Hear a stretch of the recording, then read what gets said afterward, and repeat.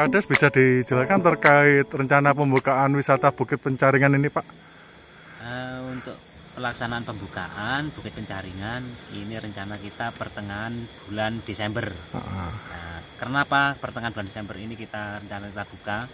Uh, karena nanti antisipasi di tahun baru 2021 hmm. semacam itu.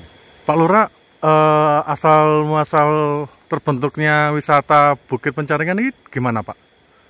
Ini dari awal muawal uh, awal mulanya Bukit Penjaringan ini uh, kita gagas bersama dengan masyarakat, terutama dengan kelompok tani, dengan BUMDes dan Karang Taruna dan lembaga-lembaga desa yang ada di Desa Jarak dan kita menentukan lokasi di Bukit Penjaringan. Nah, Bukit Penjaringan ini dahulu kala sebelum adanya Desa Jarak, waktu pertama kali yang masuk Desa Jarak itu masuk di di bukit ini dan pada waktu pagi hari sekitar jam 9, jam 10 e, kalau orang Jawa itu bahasa caring. Caring itu e, mencari berjemur, ya. e, berjemur, nah, berjemur atau e, supaya badan ini hangat. Nah, akhirnya caring di bu sebuah bukit. Nah, hmm. kebetulan binatang-binatang buas yang ada di waktu masih hutan, binatang-binatang buas yang ada di sekitar sini juga ikut berjemur, nah, seperti ular, ada harimau dan binatang buas yang lainnya ikut berjemur hmm. eh, waktu itu semacam itu. Oh, tapi itu ceritanya dulu pak ya. Iya. Kalau untuk uh, di sini tepatnya wisatanya itu uh, menempati lahan uh, punya siapa pak? Nah, untuk lahan wisata ini ini tanah e, milik desa, tanah bengkok kepala desa dan bengkok kepala dan bengkok sekdes. Sehingga ini kita jadikan objek wisata, kita bangun wisata dengan luas sekitar 2 hektar.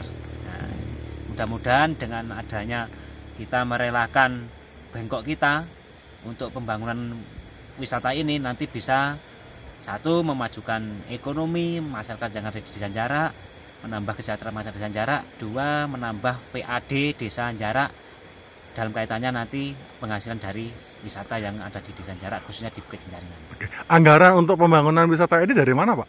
Nah, anggaran dari wisata Bukit Penjaringan ini pertama ini jelas dari dana desa. Nah, dana desa kedua eh, dari hibah abdi masyarakat di RPM Dirjen Ristek dan Pengabdian Masyarakat Ristek BRIN dalam program program pengembangan desa e, mitra yang dilaksanakan oleh UK Petra dengan tim Bu Ani Juniawati, Bu Serli Wijaya, Bu Devi Destiani dan Pak Rudi Setiawan. Iya.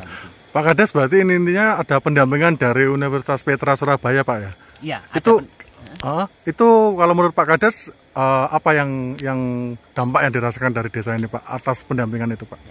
Kami atas nama Perusahaan Sejarah mengucapkan banyak-banyak terima kasih sekali kepada UK Petra yang telah bekerja sama mulai sejak tahun 2015 dalam waktu itu melaksanakan uh, kegiatan KKN dan kegiatan sosial-sosial. Dan selanjutnya kita didampingi dalam melaksanakan pembangunan wisata. Nah, sehingga baik e, perencanaan maupun pendampingan maupun e, pelaksanaan maupun pelatihan-pelatihan kita selalu didampingi oleh UK Petra dan kami mengucapkan banyak-banyak terima kasih sekali kepada UK Petra dan e, dan mahasiswa maupun dosen-dosen yang ada di UK Petra Surabaya. Jadi secara spesifik uh, apa sih Pak yang diinginkan dari pihak desa terkait pelatihan wisata dari pihak Universitas Petra itu Pak?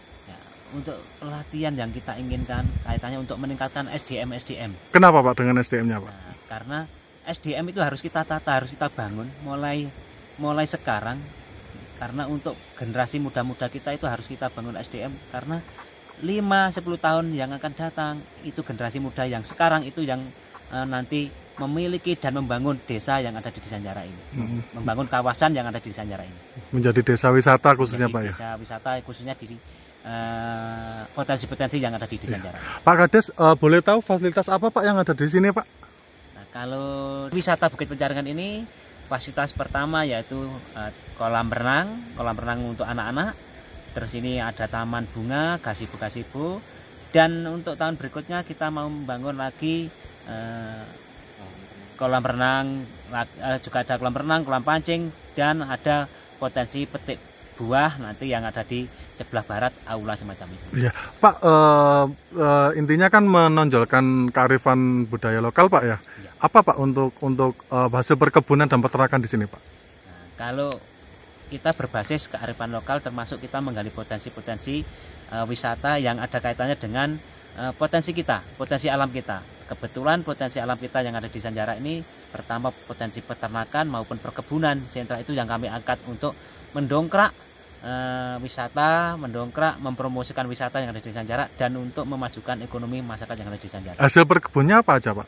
Hasil perkebunnya ya, pertama jelas durian, manggis, terus kopi. kopi. itu ada beberapa macam yang kita sampai hari ini kopi excelsa yang kita banggakan di Desa Jara itu karena kopi excelsa itu sejak zaman zaman Belanda itu di Indonesia hanya ada dua tempat yaitu di Kabupaten Jombang di Kecamatan Wonosam di Desa Jara dan di eh, Provinsi Jambi. Nah, itu yang kita pelihara sampai hari ini kita rawat dengan bagus yaitu kopi excelsa dan kopi eh, robusta maupun arabica yang sekarang mulai kita tata untuk potensi perkebunan. Hmm, Dan ada lagi? Dan ada lagi termasuk pete, alpukat, salak, semacam itu. Oh gitu. Kalau untuk peternakan, Pak, apa aja? Kalau peternakan kita sekali lagi potensi yang ada di Sanjara khususnya peternakan kalau Kabupaten Jombang berbicara masalah sapi perah itu pasti di Sanjara yang dimunculkan di Kabupaten Jombang. Nah, kebetulan potensi yang ada di Sanjara itu ada beberapa potensi kita bagi dengan wilayah. Di wilayah selatan Desa Sanjara itu ada potensi sapi perah peternak sapi perah milik warga. Setiap harinya setiap hari kita bisa memproduksi kurang lebih 8.500 liter setiap hari. Nah, kita kerjasama dengan pabrik susu yang ada di Nestle Pasuruan. Dan di timur Desa Jarak termasuk di dua wilayah Desa Jarak itu dusun Jarak Kebun maupun dusun Tegarjo itu potensi kambing etawa peranaan etawa atau PE